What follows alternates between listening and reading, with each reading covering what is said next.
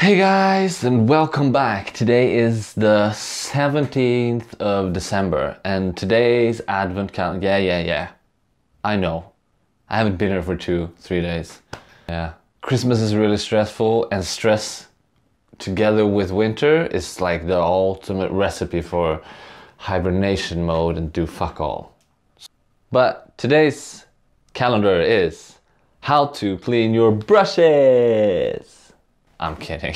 I'm not gonna do that. That's horrible. Um, yeah, but I'm not gonna say it. Here's the calendar. Magic transition. I promise to show you guys what I have as a setup. Um, and this is just a normal average steel, steel um, sleek, slick tripod. It's very light. These are in aluminum.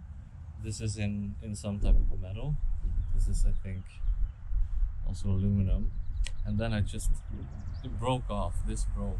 But I found a really smart solution, or actually I didn't. My girlfriend did. We just uh, took a, a medium-sized carabiner and the aluminum bar that I have is something that I've screwed on one of these uh, clamp things for, for pipes. Like plumbers will know what this is for sure. You can buy it really cheap somewhere. I put silicone in there as well so it doesn't wobble around too much. So this just slides in here in the carabiner and it stays on that. Now it's a bit shaky, right?